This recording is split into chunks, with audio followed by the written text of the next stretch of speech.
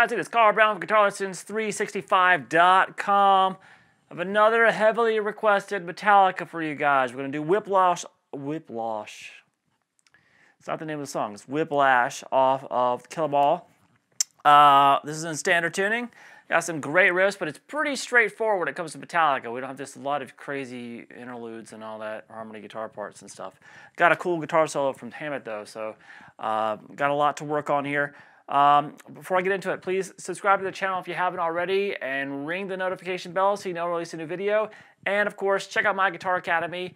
It's the GL365 Academy at GuitarLessons365.com. It's got all my guitar courses on improvisation, technique, guitar tone, um, all sorts of stuff. So please go check it out. Uh, we have a great community going over there, and I hope you'll join it if you haven't already. All right, so let's uh, let's get into this. We have this. Um, intro that is just based off an E power chord at first.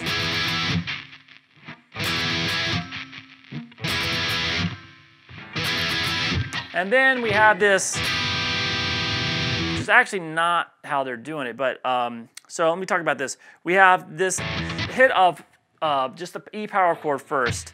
So we have the low E open, seventh on the A, nine on the D, and uh, nine on the G.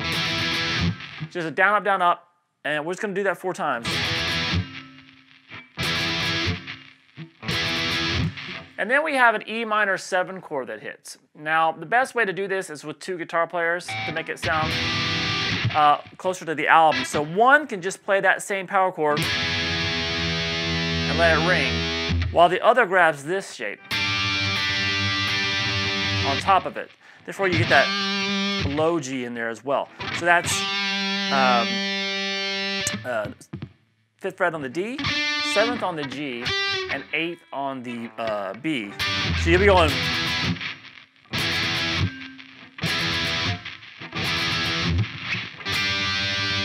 So one guitarist will do that, and the other one will just hit the main power chord, let that ring, and together they'll sound like that. If you have one guitar, just do it like that. Little minor seven chord. And then we have some more hits again. One guitarist is playing the low E power chord and the other one can play it up an octave. Just doing that four times. And then we get to the main riff.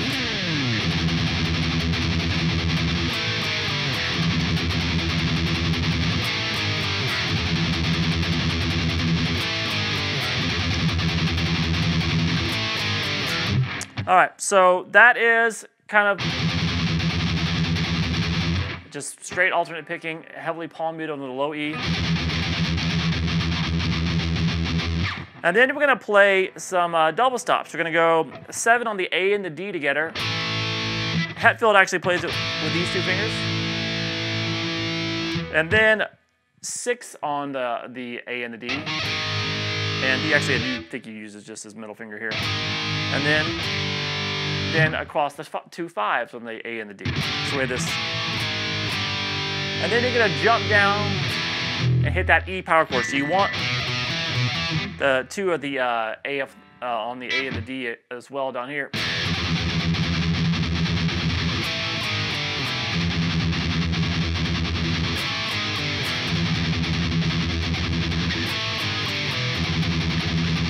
So pretty simple.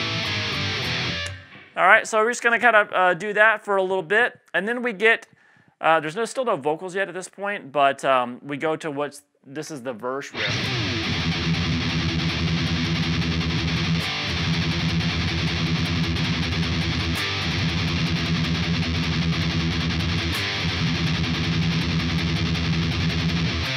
That takes us to the pre-chorus. So this is pretty simple. Just the low E still going. And then you're just gonna play the third fret power chord off the low E string.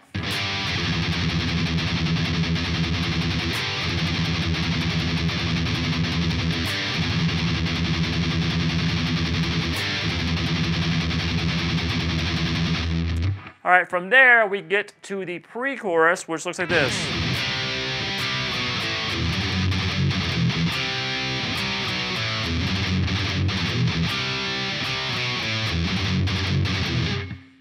All right, so that I like that one a lot. So um, we have this power chord off the just as a two finger power chord here. It's the third fret of the A string. It a couple times.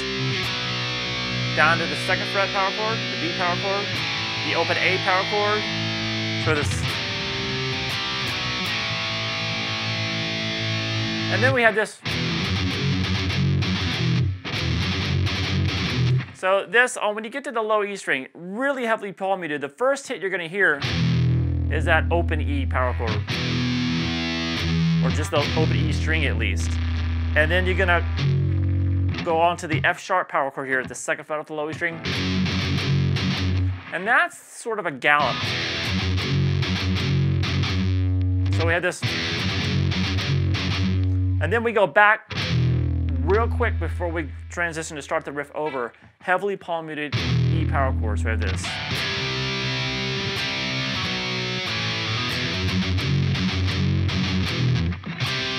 Start over.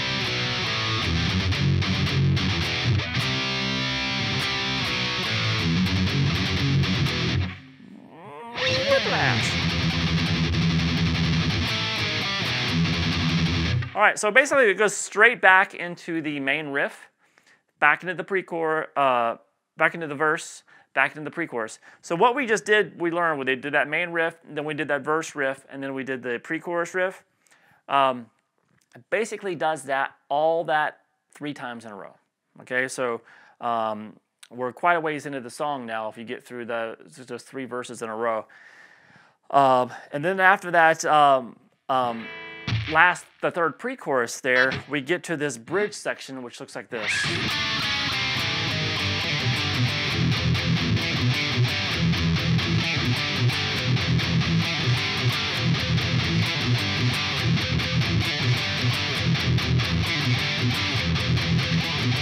Here we go. All right, so that is, um, that goes into the solo there.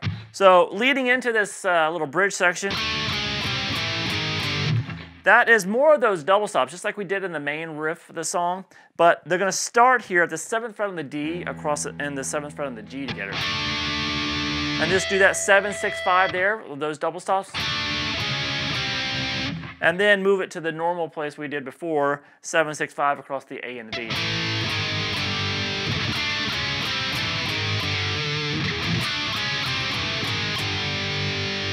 And then we go into this.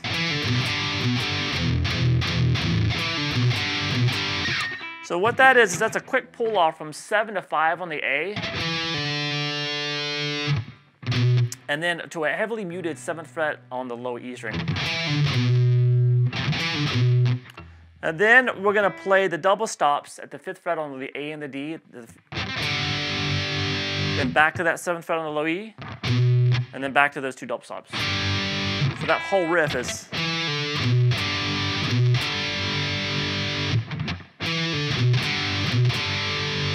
And then you just chug on the low E power chord. So we have this.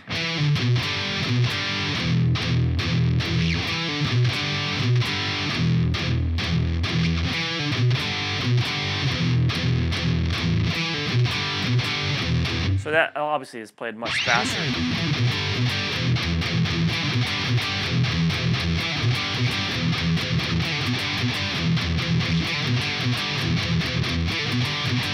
All right, so that.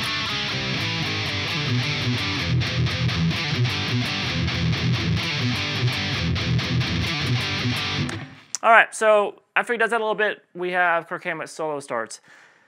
Now, under the core, the rhythm guitar parts underneath the solo is the first half of the solo before that little break where he yells whiplash. He's just doing the same bridge riff. And then um, uh, when there's that little break, when then Kirk Hammett goes in, um, he goes into the main riff.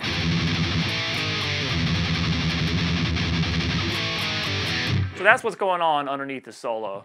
Uh, well, we have that, remember, it's um, when we're doing that,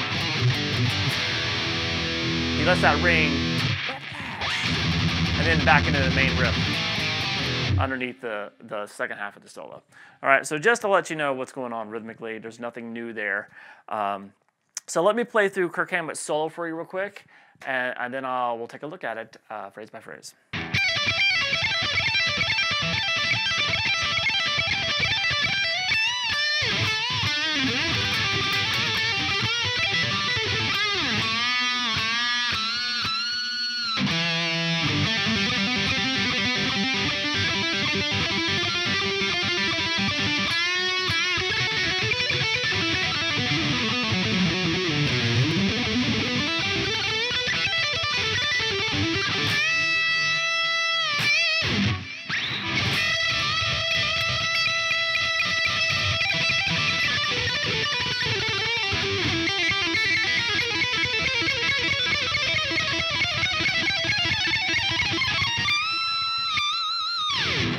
All right, so got some really kind of classic Kirk Hammett stuff, licks going on in that one.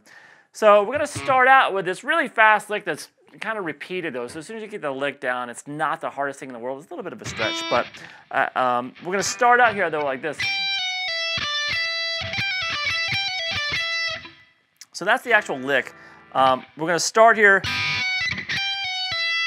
pulling off pick 15, pull off 14 and 12 on the high E, over to 15 on the B, and then back to 12 on the high E. So that's the pattern that you're gonna do, and you do it two times right here where we just did. Did it.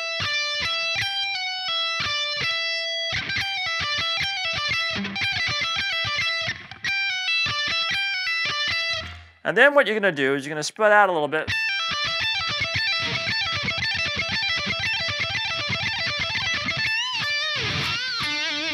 So when we spread out, we're gonna play the same shape, but a little bit bigger of a stretch. We're gonna play 17, pull off to 15, pull off to 12, then play 15 on the B, back to that 12 on the high E. So it's the same pattern, just a little bit different notes. So we're gonna repeat that pattern probably about 8, 10 to 12 times.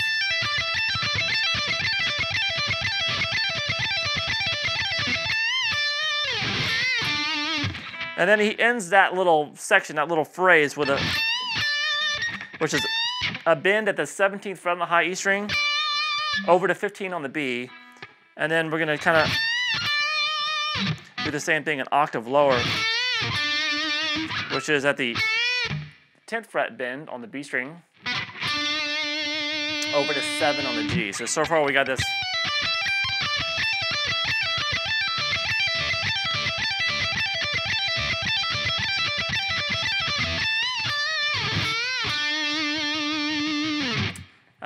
Next phrase looks like this.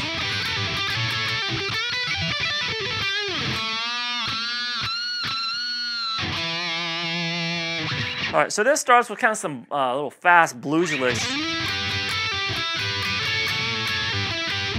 So that's sliding into the 14th fret there on the D, and then you're gonna go over to the double stops at the 12th fret on the G and the B. Hit that a couple times, and you're gonna pull off 14 to 12 there on the G.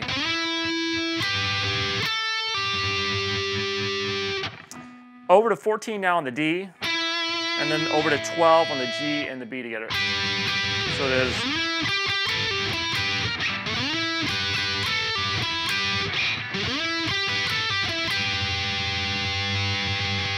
From there, we're gonna kind of stick with these double stops.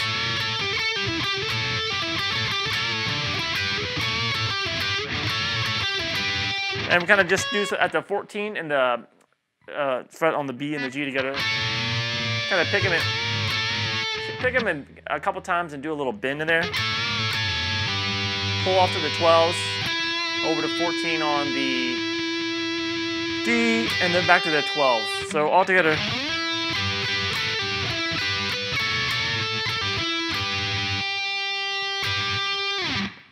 And then we start kind of, there's a couple of parts in this that, you know, just kind of erratic blues licks that are very common with many players, but it's do.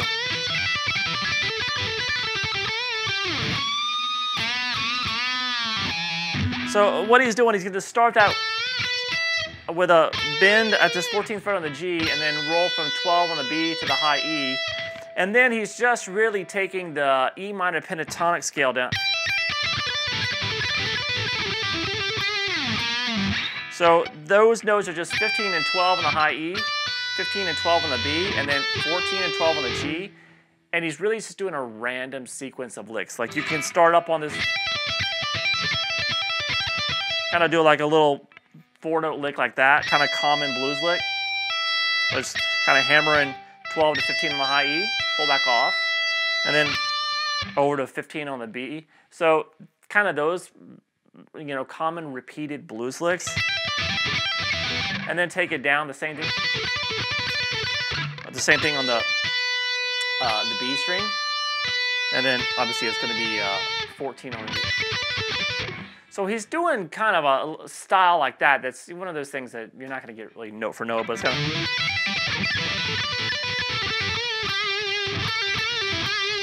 And it's kind of kind of ending on that 12th fret on G. So you just basically want to make it down to there. So we've got really this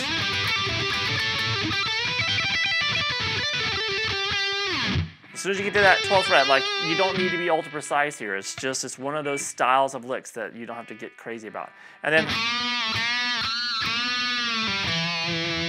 so that's uh, bending at the second fret on the G string. And he adds some pinch harmonics as he bends them. Just kind of really digging in. Release the bend, pull off to the open G, over the second fret there on the D. So, so far we had this.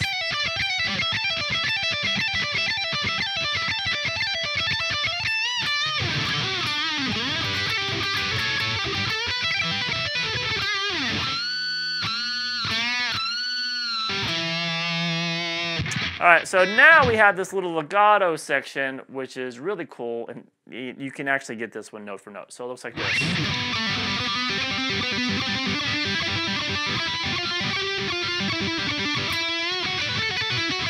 So I'm going to stop there. It kind of it's kind of the same phrase, but I, I kind of want to stick with just the legato section. So this is all on the G string.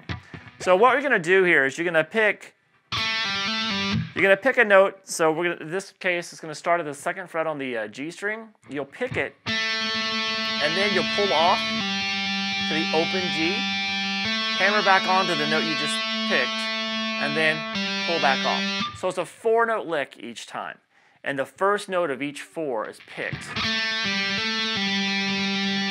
So now you just need to memorize, if you can practice that lick a little. Now you just need to memorize where he places his fingers. so it's gonna be two, four, five, four on the G. So that's the first section. So what that is that exact same lick done of the two, and then four, and then five, and then back to four. So this. Uh, I think he uses his index finger. Uh, I like using my middle finger. It's more balanced to me, but. And then we have an, a group of another four notes where we do that same pattern with, and those four notes are going to be five, seven, nine, seven. Five, seven, nine, and then back to seven. So it's the same pattern. You go up three notes and then back one. So.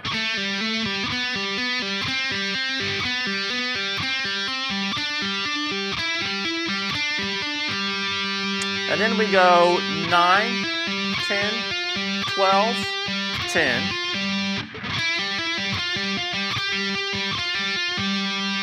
All right, so just that same pattern.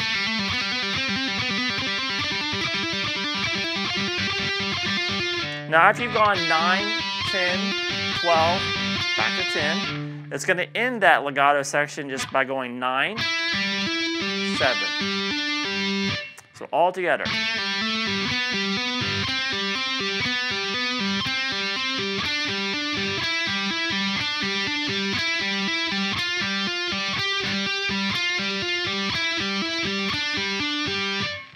All right, so that's the whole legato section. Probably the coolest part. Oh, well, I like the ending too. Um, so it's a really cool part of the solo.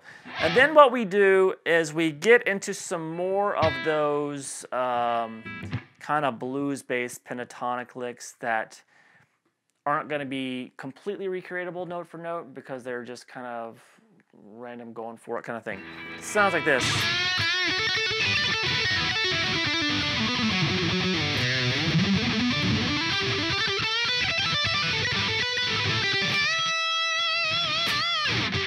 So first of all, we we start here in this B minor pentatonic. So here are the notes that he's doing first. He starts first starts out with two bends on the ninth fret on the G string. And then he starts doing those blues licks that we talked about earlier, kind of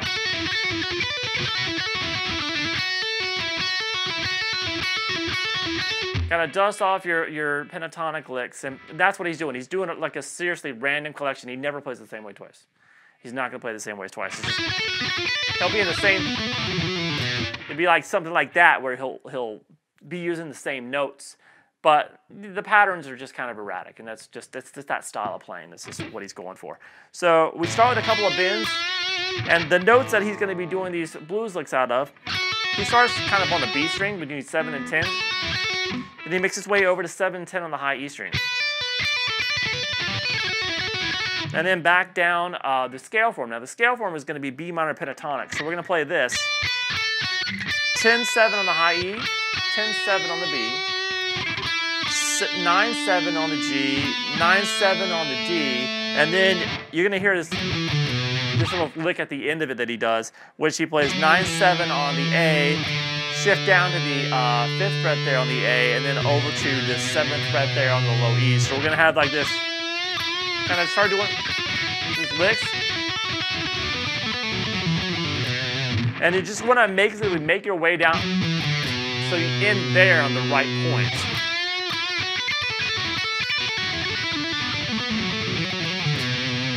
Okay, so now this next phrase is kind of an ascending uh, pentatonic type thing. Looks like this.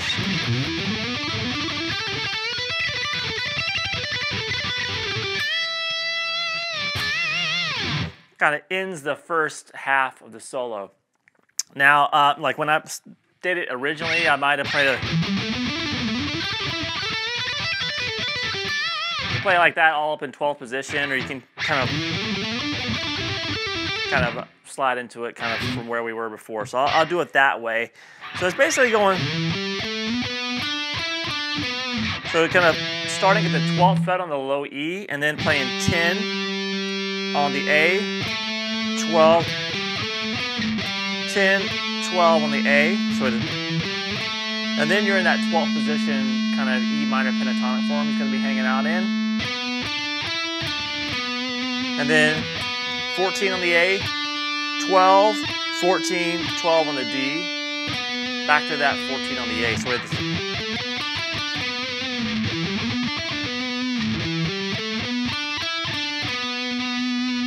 And then I'm gonna, from there, I'm gonna, gonna do kind of a similar thing. I'm gonna play 14 on the, you wanna kind of look at this as one lick here, and then another lick here. And uh, so this is just kind of an approximation. It's one of those things too, it's kind of an erratic pentatonic lick. So we have, so 14 on the A, 12, 14 on the D, then 12, 14, 12 on the G, over to 14 on the D, back to that 12 on the G. So it is.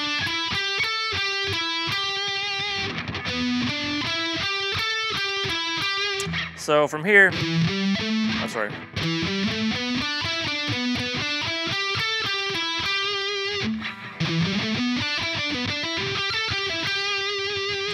And then you're gonna kind of do it the same way we did a little bit earlier in the solo where you start with a bend on the 14th fret there, roll over the 12s from the B to the high E.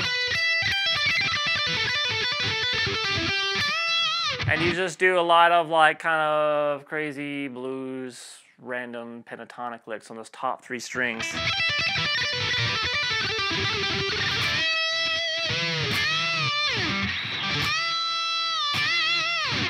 and, until you get to those bends. And that's what you want to time out is you, you're kind of like,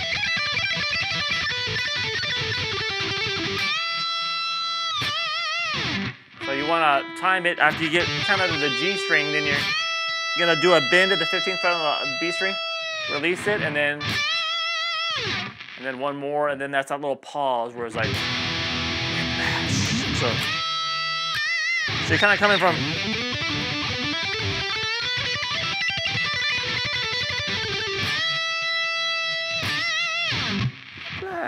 And then after the little break, we have the second half of the solo, which is over. That main riff. Okay, so it looks like this.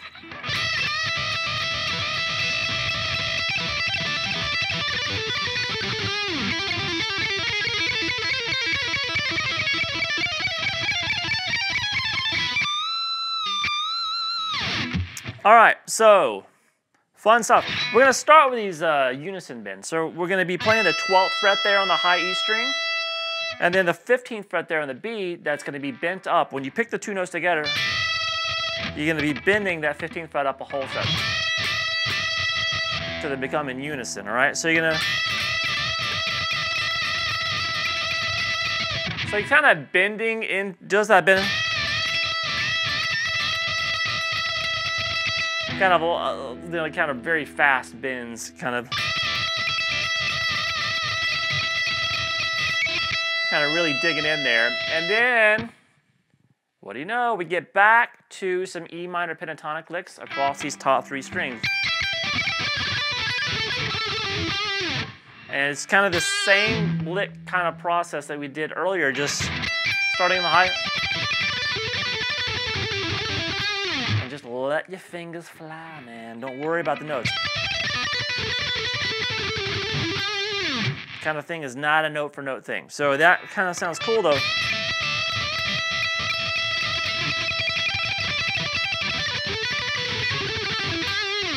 All right, and then he's gonna end the solo, another random lick, but a consistent technique. Let me explain. Sounds like this.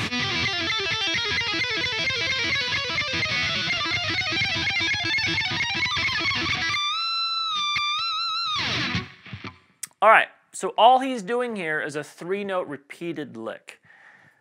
So, um, and it's on the high E string. So what the lick is, we'll start it here at the third fret on the high E string. Then you're gonna pull off to one, then pull off to the high E, the open string. So that is the lick that you're gonna first of all get used to repeating. Picking the top note each time and then pulling off all the way down to the open string.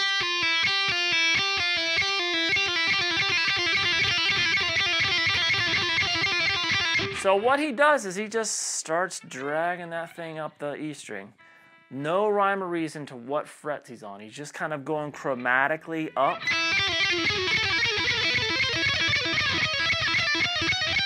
And you'll notice that when he gets around the 12th fret, he doesn't really change the spacing of his fingers as the frets get smaller. So as he gets up to around the 12th fret, what was a two fret, fret, uh, uh, fret span down here is actually three frets.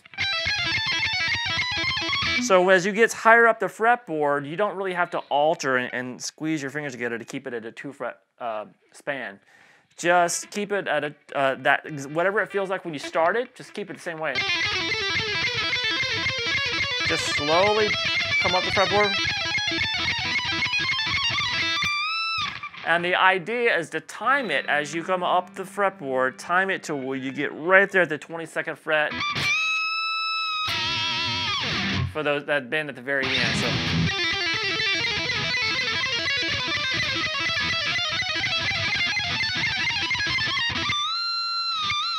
Now you'll see that some of the times uh, within one fret he'll have two pull-offs. He'll play the lick twice within one fret and then move up.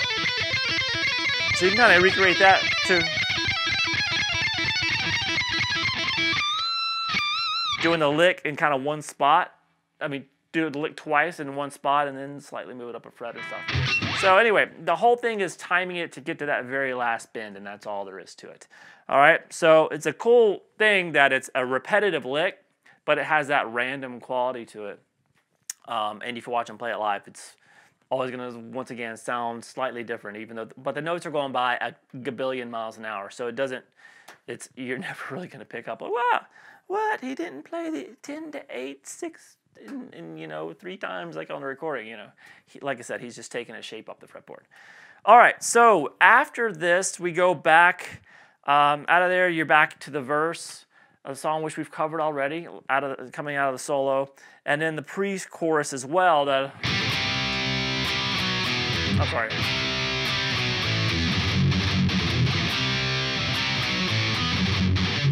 So we've already covered this, but then they end the song with a variation on this riff, uh, which I kind of just call it the groove riff. It's my favorite riff in this track. And of course, Hetfield waits till literally the last five seconds of the 10 seconds of the song to use it. So it sounds like this.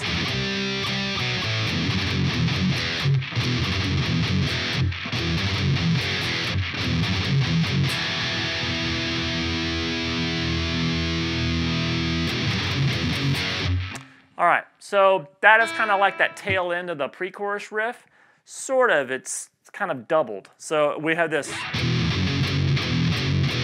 So it's that low E power chord. And then a quick little one, two, three on the second fret, the F sharp power chord. Then back to the low E power chord. And then back to the F sharp power chord once. And then back to the low E power chord. Play this. All right, one more time. Repeat. Repeat.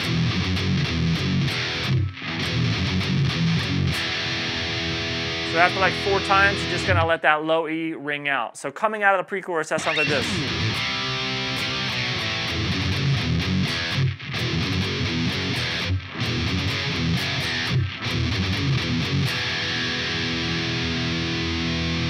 Sustain a couple measures, and then we have this.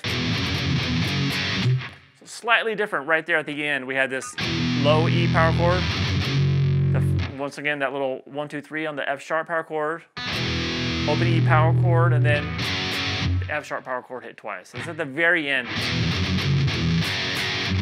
All right, so pretty, pretty, pretty easy stuff though, but really, really rocks. So. So, very cool ending, the whole ending again.